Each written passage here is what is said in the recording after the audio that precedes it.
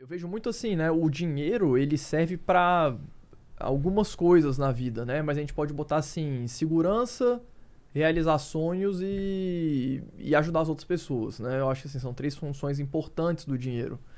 E é importante você lidar com essa parte da sua vida, né? A gente ainda tem muito... É, é um assunto ainda, apesar de ser bastante falado, falar sobre dinheiro ainda é delicado, né? Muita gente tem muita crença limitante de achar que você ganhar muito dinheiro é porque você é uma pessoa ruim, porque você explorou alguém, ou porque você. alguém tá mais pobre porque você tá mais rico, né? Eu acho que existem essas uhum. crenças que não são verdades. Mas ter essa parte financeira como uma parte, como algo presente na sua vida, entender que é muito mais prazeroso você aproveitar a jornada do que você querer chegar numa linha de chegada, porque quando você chegar na linha de chegada, a única coisa que você vai fazer é procurar outra linha de chegada e, e vai ser uma coisa contínua do mesmo jeito. Então aproveitar tudo isso e aproveitar as, as coisas que estão acontecendo no dia a dia, né? Entender que cada vez que seu patrimônio vai aumentando, sua qualidade de vida vai aumentando, independente do valor que ele tem.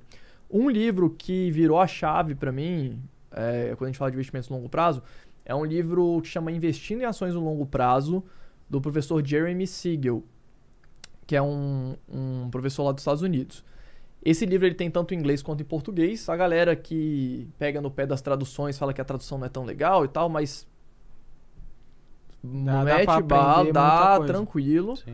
É... Então esse livro foi uma virada de chave para mim. Se você já leu esse livro, se você já investe em ações, tem um livro que eu li recentemente que eu achei muito bom, que é o Mercados Adaptáveis, do Andrew Lowe. É um livro. Talvez, assim, é um livro para quem está começando também. Uhum. Mas ele é um livro que dá várias sacadas, ele fala muito sobre eficiência de mercado. Que é um ponto que eu acho que é muito importante quando a gente começa a investir. É, eu vejo que muitas, não sei se vocês sentem isso assim com a audiência de vocês, mas as pessoas se preocupam muito com o preço da ação e ficam né, correndo atrás disso. Qual que é o valor justo de eu, de eu pagar uma ação? qual que, né, 15 reais em Itaú é caro, 30 reais é caro, qual que é o valor justo de uma ação e fica se prendendo muito a isso para tomar a decisão de investimento. Sendo que tudo mostra né, que o mais importante é você acertar boas empresas no longo prazo e tem uma frase do Charlie Munger muito boa que chama que fala o seguinte: os grandes ganhos não estão nem na compra nem na venda de uma ação, eles estão na espera.